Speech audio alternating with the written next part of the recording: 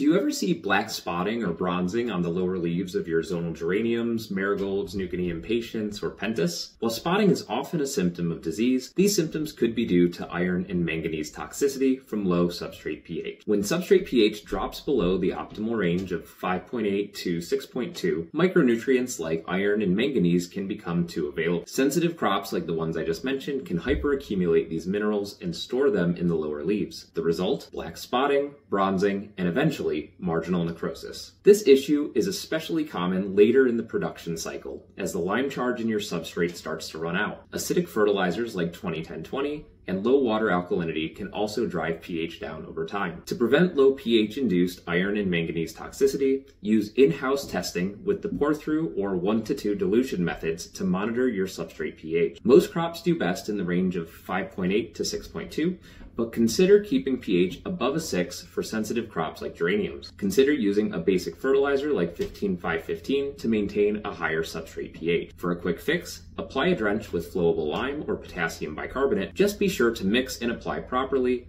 rinse the foliage, and if using potassium bicarbonate, leach the substrate the next day to avoid EC burn. For extra confirmation, consider submitting a foliar tissue sample for analysis. Iron and manganese will be much higher than normal. Remember that regular water testing and in-house pH checks are the best line of defense for preventing iron and manganese toxicity.